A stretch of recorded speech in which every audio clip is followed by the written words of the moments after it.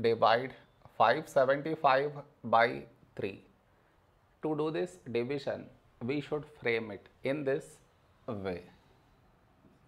575 here,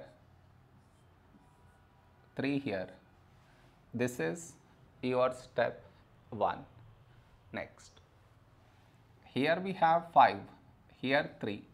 A number close to 5 in 3 table is 3 ones 3. Now we should subtract, we get 2.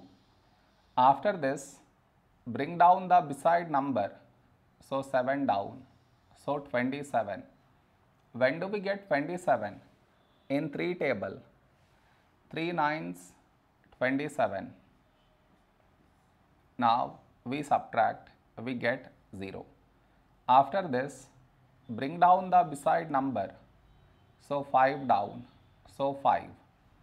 A number close to 5 in 3 table is 3 ones 3.